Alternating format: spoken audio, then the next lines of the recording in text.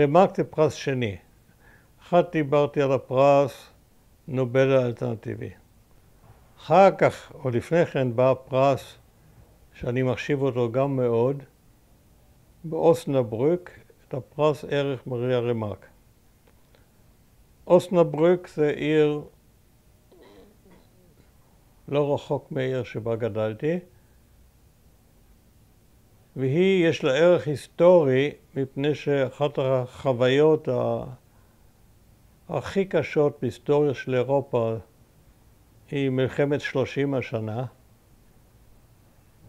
שלושים שנה שכל המעצמות האירופיות לחמו אחת בשנייה, אחדות גם עברו מצד אחד לצד אחר, החריבו, וכולם בגרמניה, למה גרמניה? גרמניה בדיוק באמצע אירופה, גרמניה היא שטוחה, ומצפון, מדרום, ממזרח ומערב, כל המעצמות שלחו את הצבאות שלהם להילחם זה בזה על אדמת גרמניה. והמלחמה ההיא, שהיא טראומטית, ויש עליה שירי ילדים וכל מיני דברים,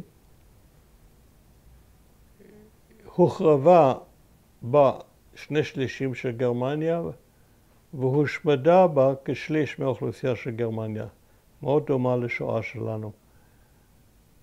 והשלום שסיים את זה נחתם בשני מקומות.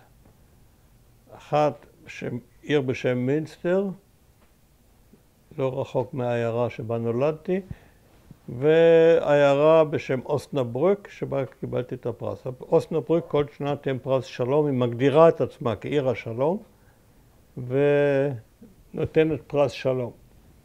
ונתנו לי את הפרס. והמיוחד בטקס, שני דברים מיוחדים.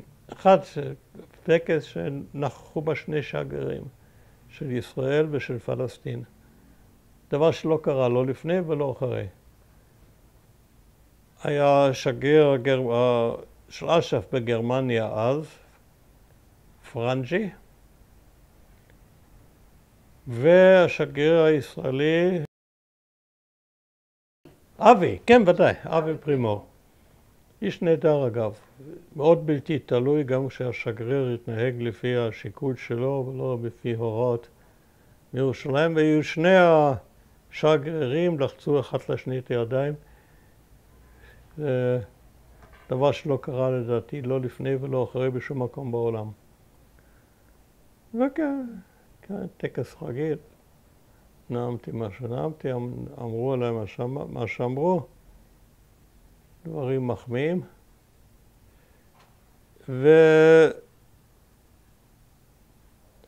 נוח לי להיות נוכח כשנואמים נאומים מחמאה עליי.